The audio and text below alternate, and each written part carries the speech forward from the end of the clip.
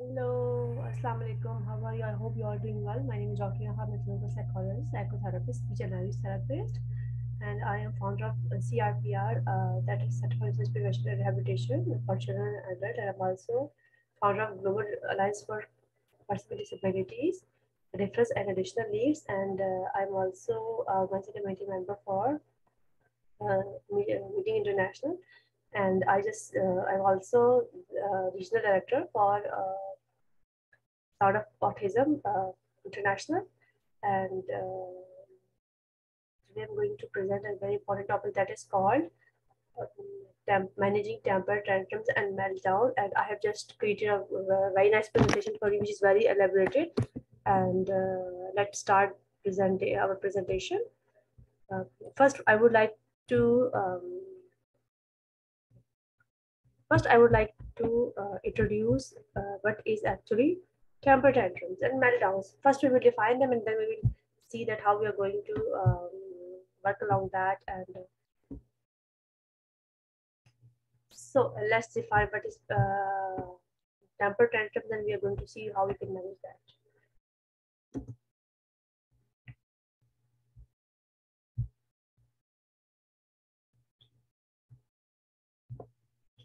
So, as I already told you about my introduction, uh, this is my introduction.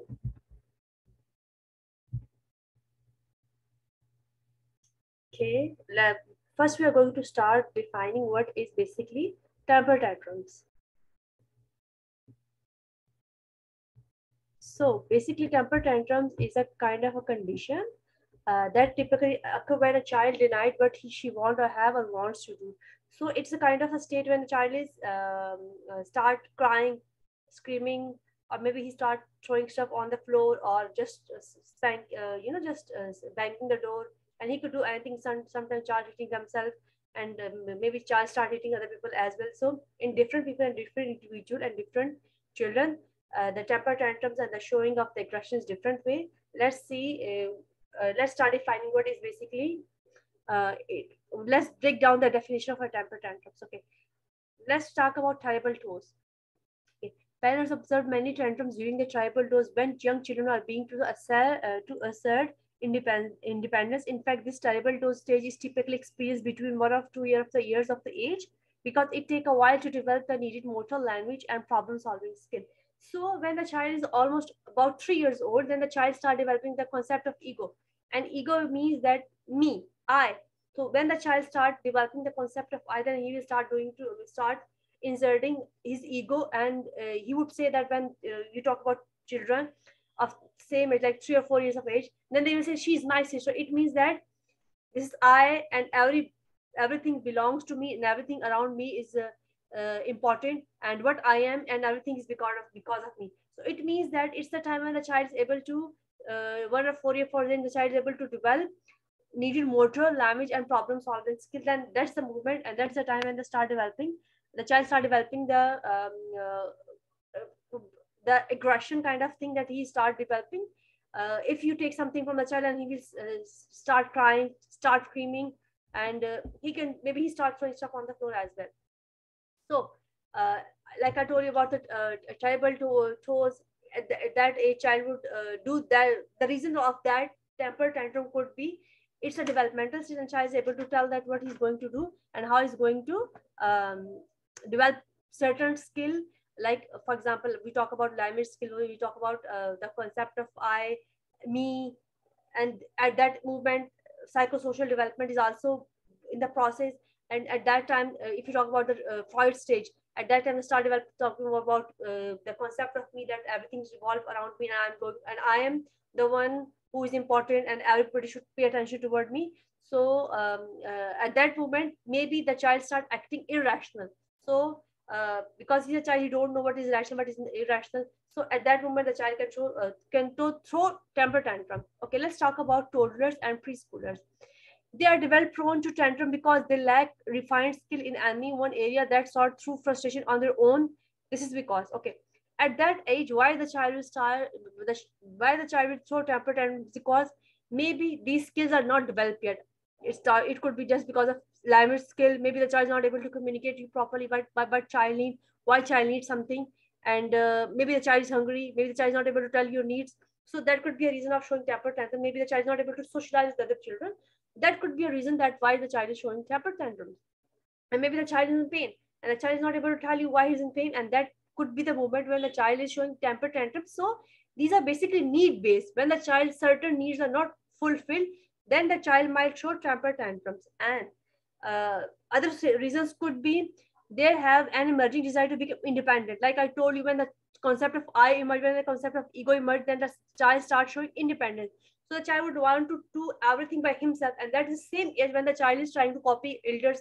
When the child, if you talk about the girl, they are, uh, they are, you know, they're uh, dressing up like their mother and uh, uh the uh, they want to sit in the chair in the chair where the mother is sitting and maybe they want to wear the shoes of their parent as well and if we talk about a boy and the uh, the, the father of the child is riding a bike. Maybe the child want to sit on the bike as well. So at that moment the child is trying to become independent but have limited motor skill and cognitive skill. So if the child want to become independent but the child lack motor skill maybe the child is not able to do something.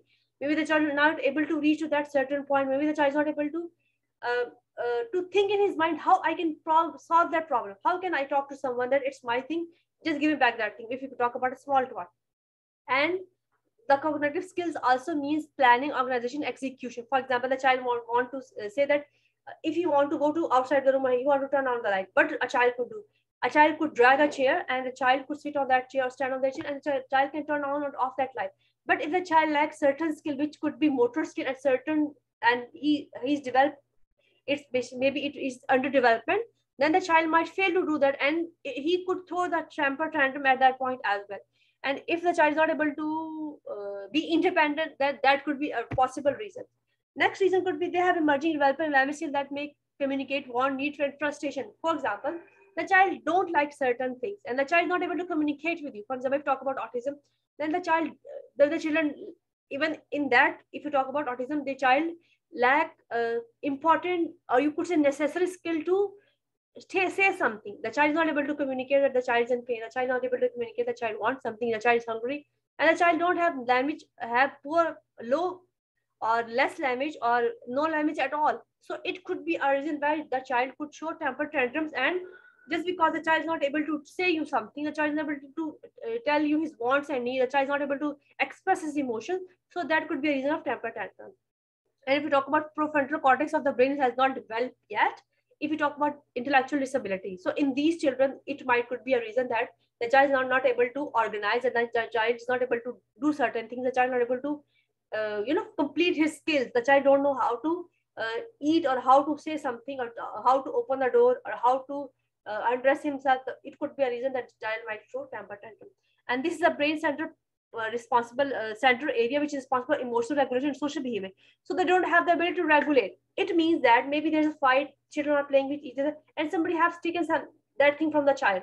So if the child is not able to regulate these emotions child maybe you know if we have seen a lot of children who come to their mother and say that we want certain thing this child this child, or child hit us he have taken something from me. So at that time the child is able to communicate to you. So instead of showing uh, frustration the child have a place where he can go and he can tell about uh, tell about his problem. And maybe the mother can get to give him something or maybe the child lost something and the mother find him that thing for him.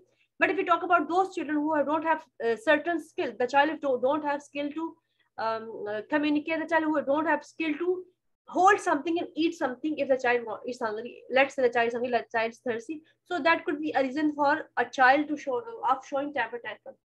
And other reason could be they're developing an understanding of their world and it's often anxiety producing. The anxiety and lack of control often result in tantrums when it, it all get to too much to manage. Okay.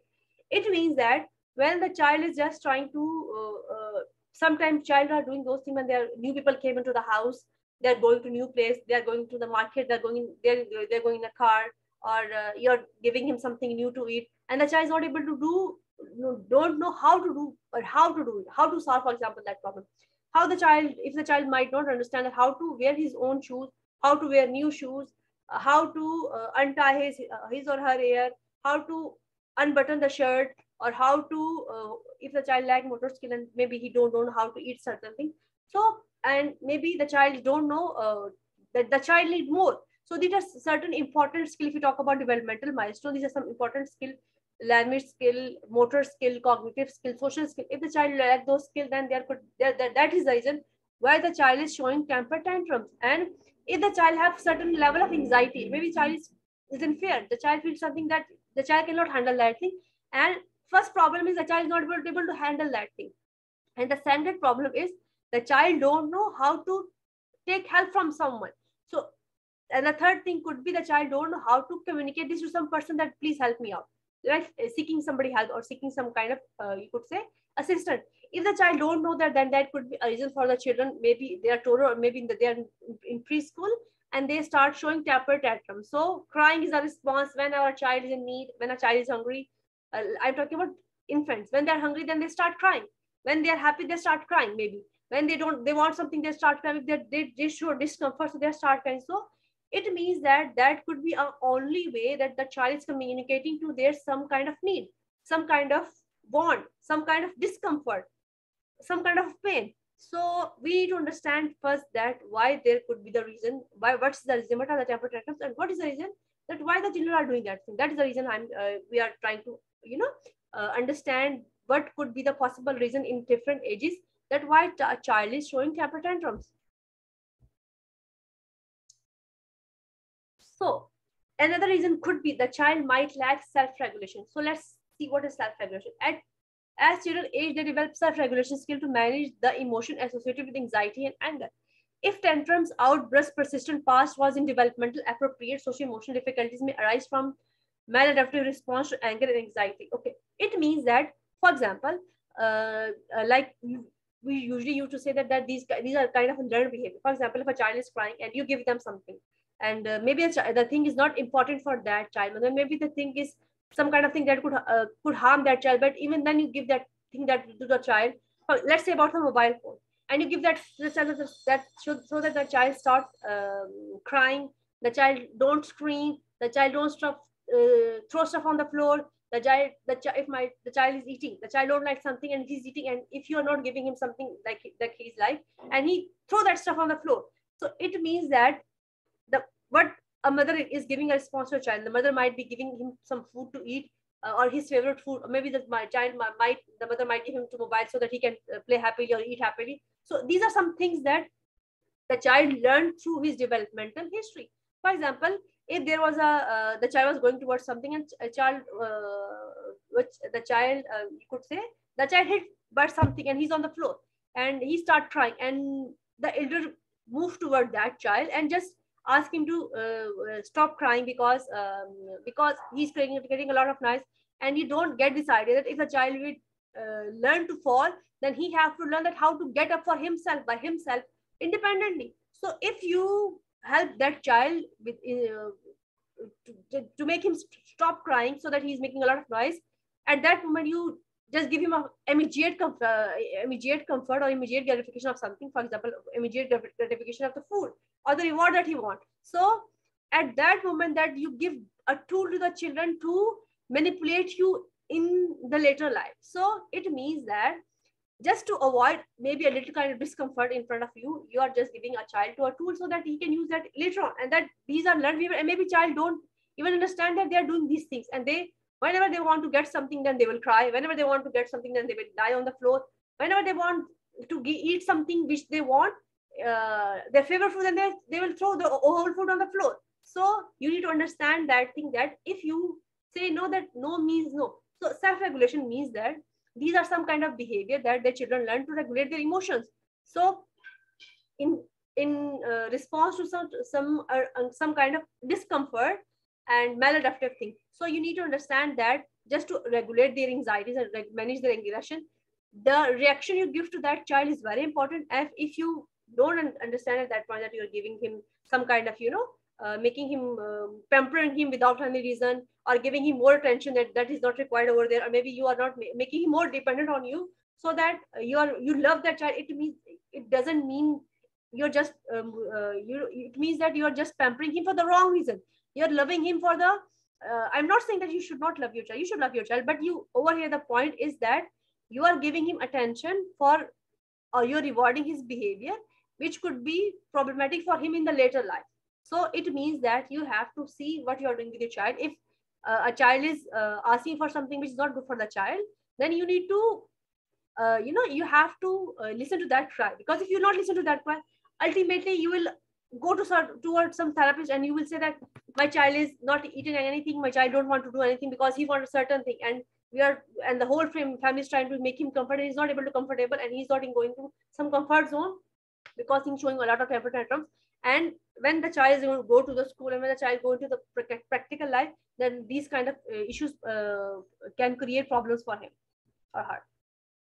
Okay let's see how we can manage temper tantrums. The first thing is okay you need to understand what is the motivation or purpose of that child. You need to recognize that emotions. That what is the purpose purpose of that child for that kind of temper tantrum. So recognize the motivation of that behavior then to get attention what is the reason? This could be to get the attention to get the child what he wants or need denial or wants or need delayed access to that thing whatever wants or need so over here you will understand that why the child is showing tantrums what you said no to him and what was the reason? That was denial to his wants or need second thing would be once you identify that thing when you start thinking about that behavior what was happened before that when the child throw that tantrum and after that uh, during that then you will get the idea why the child is showing that temper tantrums okay? So once you identify that why the child is showing this the child is why your child is tantruming then you can respond more appropriately recognize your child needs in the moment and without giving into them. Instead of you need to understand that why the child is doing that. So you can work on that behavior. So you have to need to understand why what is the motive of that child at that moment of showing certain kind of behavior. Reinforce positive behavior okay. Once you identify next could be catch your child when he or she is responding appropriately on small problems and praise or reward him for great behavior. For example you might see that the, uh, uh, the child usually cries on something but one day the child, child was not crying and something happened that so if you start responding to that thing you start praising your child you could give your child your hug you could you could hug a child you can you know uh, you can praise your child in some other way so that child understand and what is appropriate behavior if i reward uh, uh, appropriately then the my mother or my caretaker is going to respond me appropriately. Okay. It could be hug high five way to go are always a very productive way actively avoiding those temper tantrum and outbursts and teaching your child that he or she and your uh, would have your attention for the time when he's successful too. So it means that for getting your attention he need to behave in certain way. So it means that he would get this idea that if I will do this thing in that moment, if I want something, and if I go to uh, instead of you know crying, if I even go to my mother and ha, hold her hand or maybe point you know point toward that thing, if the child is not verbal, he will get this idea that if I will do that activity, then my mother is going to listen to me. So that could be a way that your child will learn, and you need to show him that how he can do or if you know the child is not able to do uh, or the child not able to behave appropriately then you can teach your child the child but how he can do that. Next for calling attention to what he want does right in the moment will also help the child build on those successful positive response for the future. So you can tell him that like i told you already then you need to show your child what is appropriate behavior. Instead of telling him no you cannot have this. Let's have this. Let's try this and when you the child will uh, get this idea that um, what could be the right response? So maybe next time instead of crying instead instead of you know throwing stuff on the floor maybe he come to you sorry maybe he come to you and only maybe he hold your hand and take toward you to, to that thing if, in the case if he's not verbal okay? It's not non non-verbal or uh, you he could uh, you know hold your hand or you he could point toward that thing maybe and uh, you know maybe come to you and point what that thing could be a step toward managing that temper tantrums. Next build, build skill for success. Like i already told you children who demonstrate temper tantrum frequently struggle with impulse control problem solving delaying gratification negotiation communication wishes and need needs. Knowing what appropriate is given the given situation. If you're not going to manage your child temper tantrums on the time and if you're not able to manage the child wants and need and how to communicate to you when they want and need something then their child have a lot of issues, which could be he could have issue. He might be have issues with problem, impulse control, problem solving, delaying gratification, negotiation, skill communication, wishes and needs, wants, and in social situation as well. Next could be and self-soothing. Look for opportunity to build on these skill with your child and help him to be successful. That is to work on these skill outside and temper tantrum movements. Sorry. so you need to work with your child if the child is showing uh, showing certain kind of temper tantrum. In the next slides, I would like I would uh, tell you how we can do that. And uh, and you need to work on the child when the child is not having this kind of temper tantrums. I mean, for example, when the child is angry, then he's out of listening anything. Then he could not listen to you, and he could not listen to any kind of reason. So when the child is calmed down, then then then you have to talk about all these things. Then you have to talk about what happened at that time, what we can do about that thing, how you can solve that issue in certain uh, certain uh, in certain situation. So you need to talk to the child once the child is calm and he is able to communicate to you. And it's, it would be like you're crying, the child is crying, you're shouting, the child is shouting. So it's not going to help you out. It may be worse than that situation. So you can others, we can also try these uh, tips. Let's talk about that and uh, try this tip that could help you out uh, to track their temper tantrums. Agree on frustration signal. You need to understand why the child is frustrated. So it could be a needed in any way. Either it's attention need, either it is the child needs something, either the child something. So it could be, it could not be all the time attention seeking behavior. It could be the child actually needs something. So you need to instead of looking toward that thing, the child is attention seeking. You need to understand that why the child is doing it. Maybe the whole day you spend with the with the with that guest you have at home and you did not pay attention to your child. So if you might spend five or ten minutes with your child then the child will be able to or even if you talk to your child that we have guests today and we are going to do certain activity when the guests are gone. So you give a kind of you could say a way out of that thing and uh, you have that you know that that the child would uh, show start showing temper and the child will start crying so you already have a solution for that thing because you could you could talk to your child that yesterday we have guests we are not able to play something. We could do that later on. Assign a calm space. This is what i also do when the child is crying because uh, when the child is crying you're saying the, the child don't understand anything and the child is not going to understand your reason, reasons as well. In fact the child will start hating themselves if you hear the child that why he's crying like that. You don't love your child for the way he is. So you need to assign a place. You could do that by assigning a place in, in your room or in your whole house that if you're angry, angry, then you can go to that place. If you're crying, you can go to that place. So a calm place could be even a sensory play area as well. So if your child is, um, you know, um, crying, you could go to that place and you can uh, uh, assign that. You can ask your child to go and cry there when the child is normal, then he, he can come to you. Or you can take the child to the place where the child feels more happy. So he, he feels calm. I'm talking, especially talking about those children who have uh, sensory issues, who are with autism, ADHD, and other problems think about what is causing the tantrum like auditory you need to talk you need to think about the reason why the child is doing that and why the child is behaving in certain way. Next is you need to set clear expectation. So it means that when you're talking to your child it sometimes why the child is because a lot of time the parents are trying to trick their child by saying that we will do this we will do this we will eat this we will do that and stuff like that. So what happens but that when you don't give a child what you ask that you will give him. For example if you said to your child that we will eat some ice cream flavor.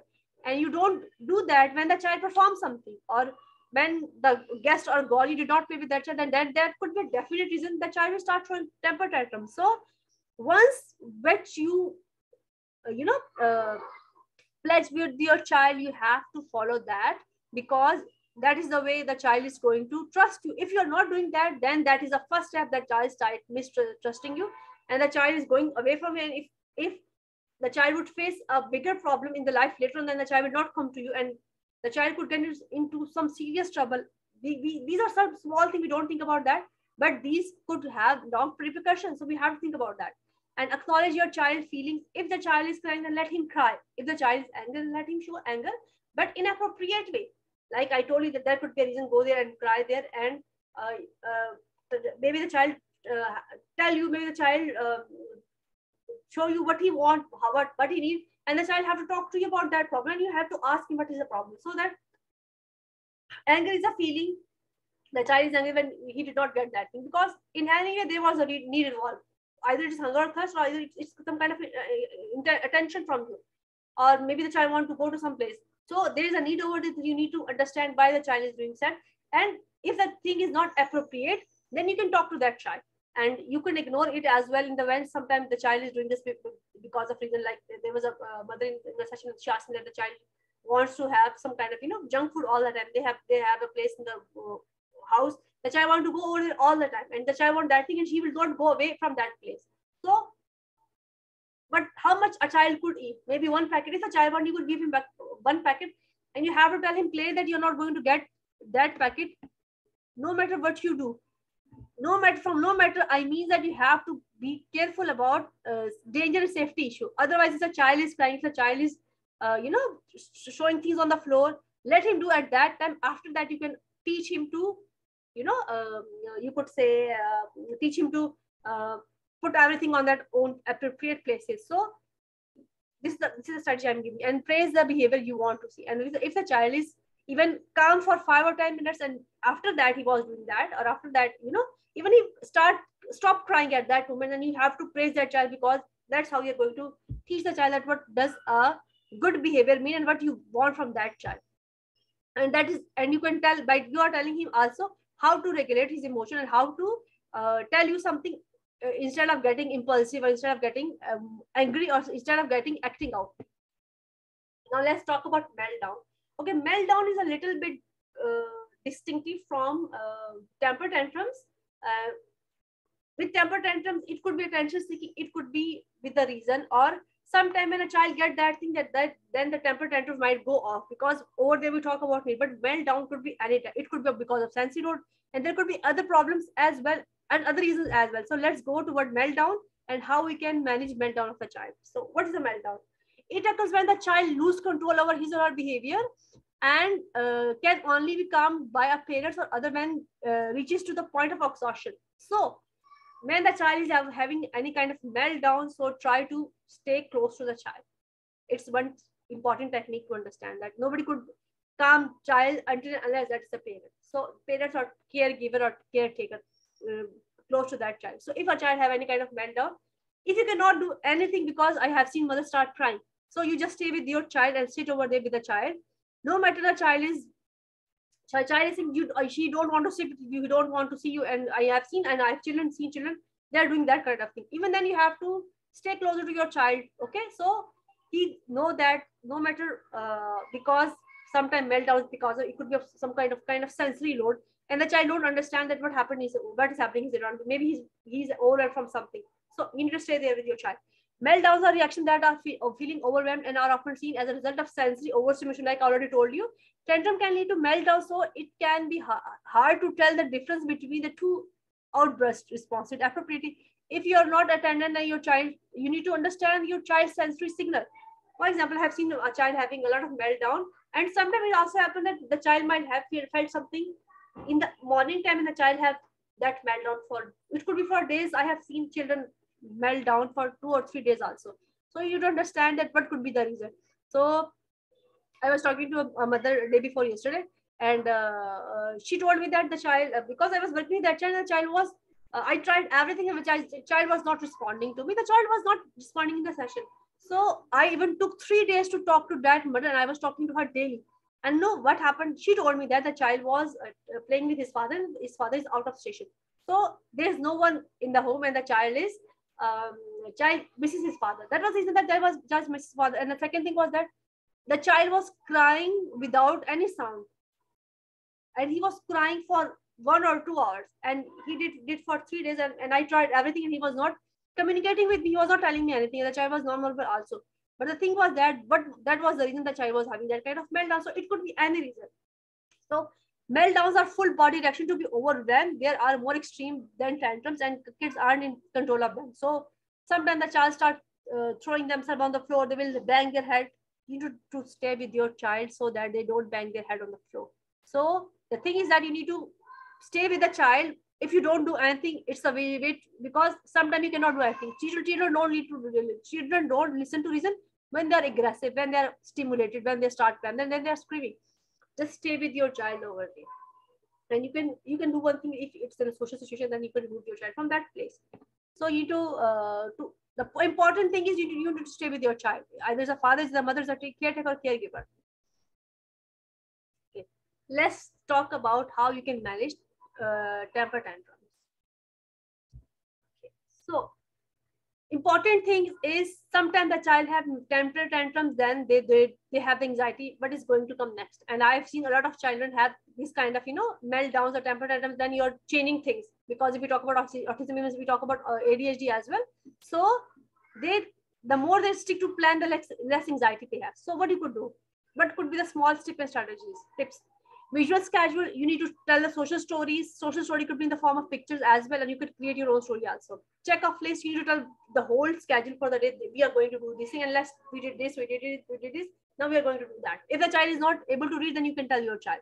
An activity or task schedule as well. So scheduling is very important. Just tell the time at 10 o'clock we are going to do that, at 11 o'clock we're going to do that, at 12 o'clock we, we are going to do that routine sensory diet activity it means that you have to have a place at home. If you talk about children who have, who have sensory issues who have sensory stimulation disorder who have um, spd sensory processing disorder with autism with adhd even with this kind of issue could, could happen with uh, with intellectual disability as even those issue who those problem those children who have behavioral issues and even other children as well without don't, who don't have behavior issues so who don't have who have issues with impulse control anger, anger who are ODD and other kind of issues as well. So any child could have these problems and you just need to understand that how you're going to uh, give your child a sensory diet and it could be anything. It could be a room.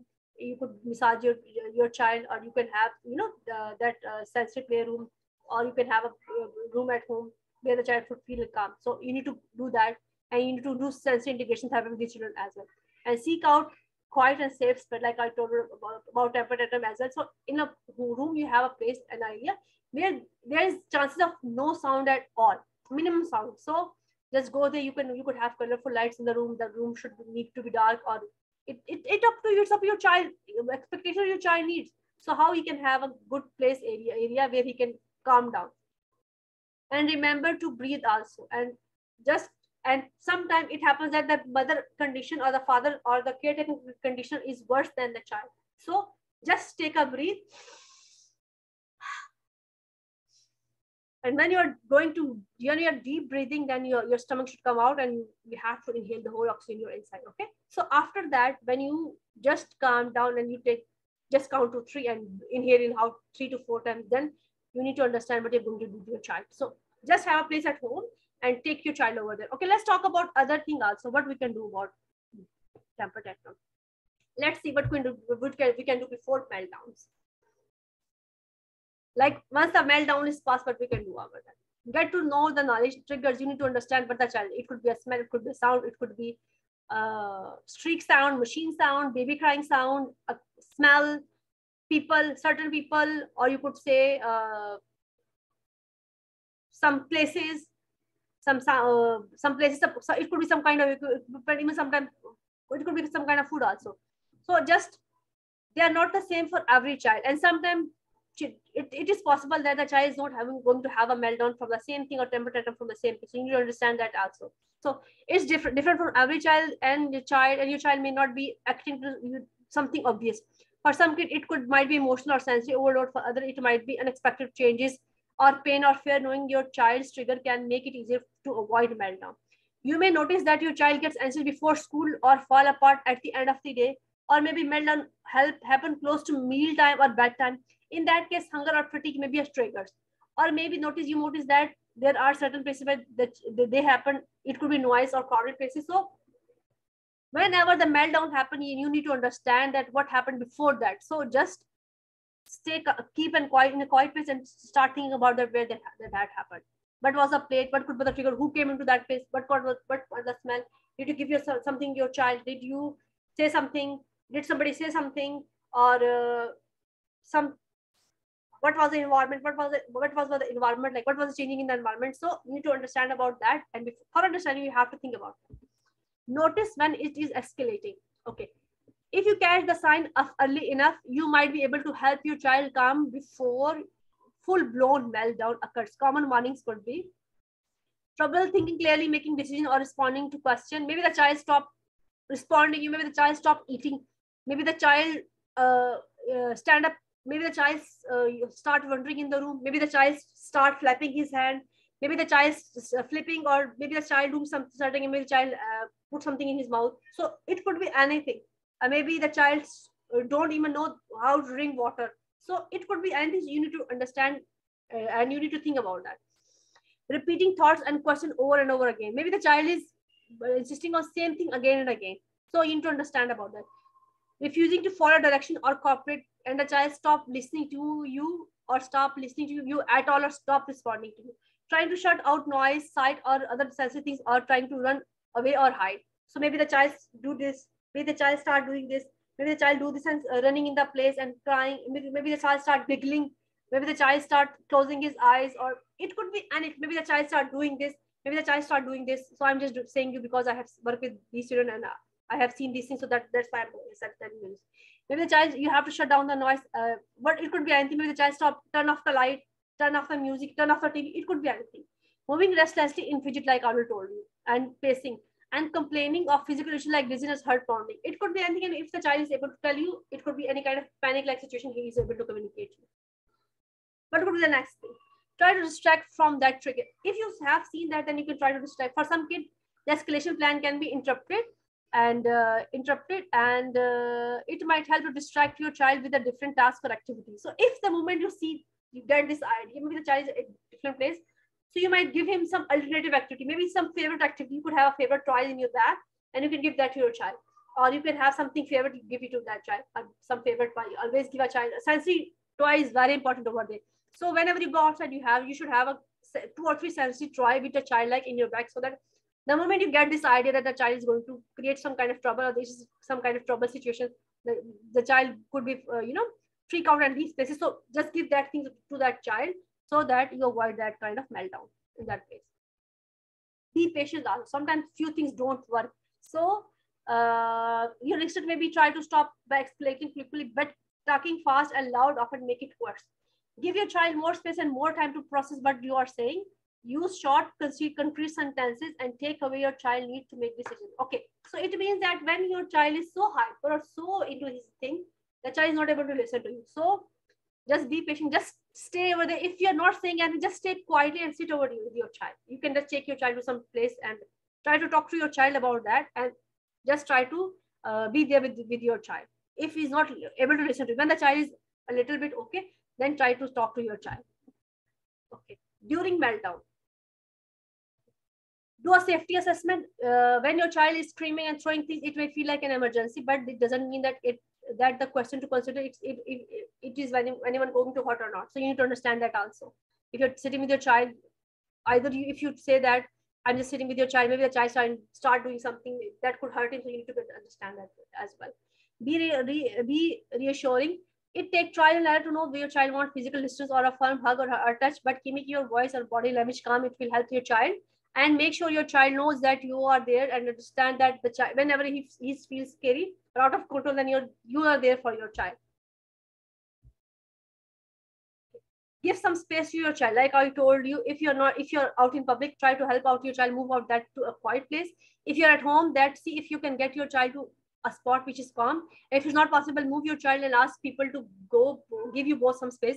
And uh, it that's how you can go to uh, manage that meltdown and tone it down tone it down by light keep things quiet turn off the light. You could uh, you have you could have a dim light at your home and you could turn off that light. And uh, in your home if you're not able to willing to move that child then you please you, you can request other people to uh, just leave that room and go to the other room. So uh, standing in the doorway can make it feel blocked in also. So just let that child in that room and you can go to outside. Or you can just give it the space to the child and go to outside and just uh, uh, you could say uh, just make sure that the child that danger safety, safety is in your mind.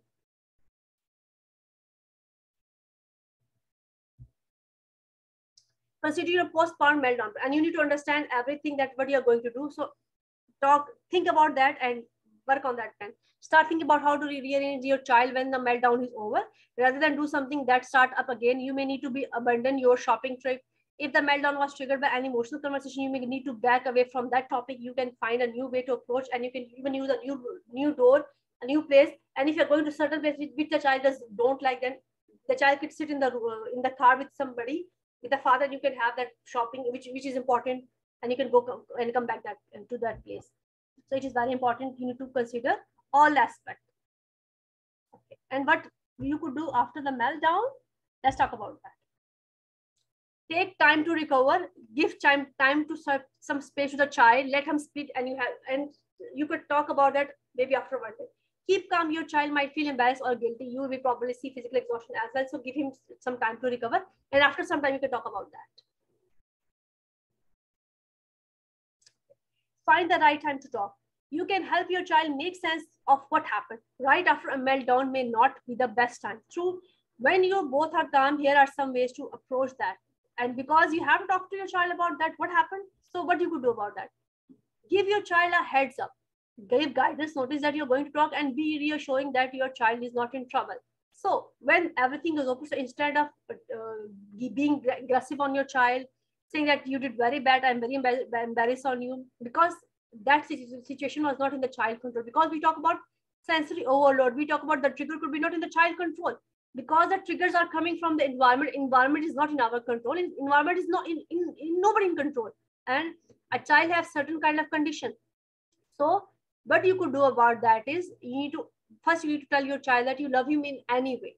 And when you're talking to your child you need to talk like in the way that um, uh, don't say that you're you are embarrassed on that situation. You just say that uh, yeah, that uh, situation happened and um, you did something what we can do about that? If a child is verbal if a child is not verbal then even then you have to talk to your child. Don't assume that your child will understand it. The child understand everything. Just go to the child and uh, said that this happened you this happened you behave in a certain way and that was the reason and next time we will try to avoid avoid that thing. And if you dislike something then you can tell me you can talk about that. So you're giving a space to a child that if he don't feel anything, if you don't like anything, at least he would come to you if he cannot talk to you or if he's not verbal. So we have to establish the important or uh, a way of communication with our children so that they can understand that if they have some kind of trouble, they could come to us in any way if either they talk or not. So we have to give heads up our child and you need to tell your child that he manage his when the child manages his temper tantrum in some way then you have to uh, tell him that he's not in trouble that was not his because the child might feel guilty that what what going to happen with me because maybe sometime this happened in a social situation that was happening in some kind of marriage ceremony some reception.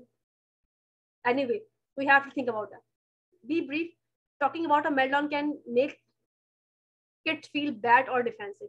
Say what you need to say but try to avoid saying the same thing over and over again. So instead of you know sometimes uh, we say uh, a lot of hurtful things because when the child is emotional we are also emotional. And we might be angry as well. I mean we might have you know kind of a depressive episode or guilty as well that we are not able to communicate our child. The child is in the problem because of, us. Because as, as, a parent i have seen a lot of guilt in the parent. So um, if you want to talk to your child maybe you can write that script. So the and try to be more supportive as much supportive as you can. Brief to the point and uh, uh, it, could be maybe the child said it was not our fault. They, they could make them feel bad or defensive also. So uh, say whatever you want to say, but you have to communicate your child in any way what happened over there and what we can do about that. So it is important to over here communication very important. Make sure that your child understand what you're trying to say because like I told you, it should be uh, to the point and in the clear word as well. Don't give him mixed message, mixed signals like yes or no, do this, we will do this, we will try this. Don't avoid this thing. Like uh, you are giving two uh, different things. So talk about uh, the child the point, and you, you should also understand what you what you what you're trying to say to the child. That ask your child to tell what they talk about, what what they feel and how they feel, and answer the question the child asked me if you decided on action plan, see if your child can repeat it for you or not. So what could be the action plan? You should also understand that what you're going to do next time to avoid that kind of certain situation. So that is all for today. And I'm sure uh, the effort I try to put in uh, talking about uh, temper tantrums and mental might help you, all those who are li listening to that uh, thing. Over here, you need to understand that sometimes parents come to me and they say that we cannot do and maybe this uh, uh, there was a mother and she told me that she start cry, started crying because the child started uh, her uh, he was not doing anything and i told her that there's certain boy when he's angry he's he be he hit me. And i just don't say anything to him because that is not his fault. He don't maybe he have uh, you know uh, listen or you could say he have learned that from something that if you're angry just hit. If your aggression just hit. So uh, that why that might be a learned behavior from some places. So instead of getting on you know getting into that we cannot do something what we can do about that child? We can uh, start uh, uh, working on the communication of the child so that co- communicate effectively. If the child cannot say any word then at least the child could give us a gesture that they don't like. The sign of no they don't like they want you to go to some place they're pushing that if they do, if the child is not able to say you anything then at least if the you tell him that he if he start pushing you to some other place or he want you to go to some other place it could, could be the indicator as well. So you know your children very well and what you could do about that also. So uh, it's all about uh, and the problem over here sometimes something which called uh, these temper tantrum and mental might don't don't cause the same thing for other people. So like situation are uh, unexpected. So you need to understand this also that whatever you're doing for your child is you're doing very well and if you have, you have any question you can uh, ask this question in the comment section. I will happy to respond and these are my uh, whatsapp whatsapp number is my email also. And uh, thank you so much for listening me. Uh, see you in the next uh, video. Bye bye allah hafiz